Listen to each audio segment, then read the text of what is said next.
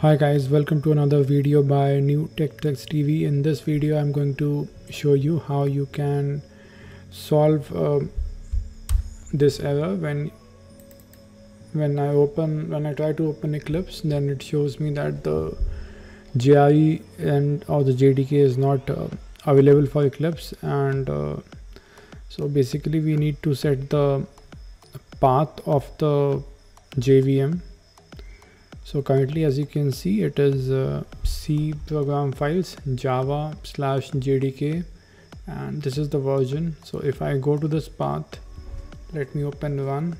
I'll go to I'll press windows key and the R key. And now if I type C colon program files slash java. And now if you see the version which is present uh, here in my C drive it is different than the one which is shown in this uh, dialog box. So I will change this. I'll first uh, copy it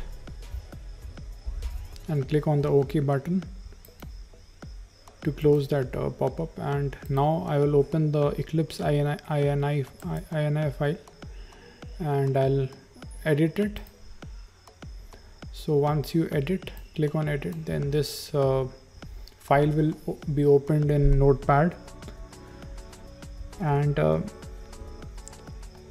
if this file doesn't open in notepad then what you can do is you can just right click on this and open with then you can go with the notepad option.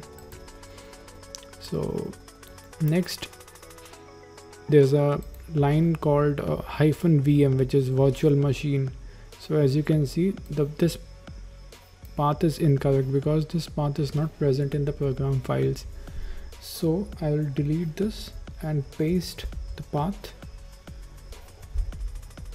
with the slash bin. Now if I save this file and close it and next if I double click on Eclipse ID and boom it will start working.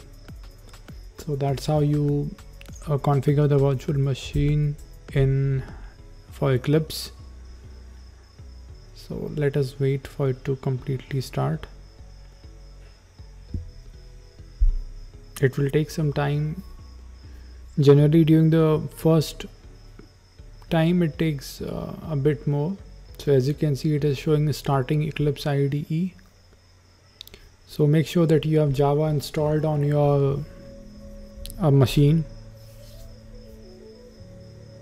If you want to know uh, how to install java on your windows 10 machine you can you can leave a comment and i will make another video on the same topic. The eclipse id is open and uh, we can see the projects on my in the package explorer so that's all for this video. If you have any questions you can ask in the comment section below.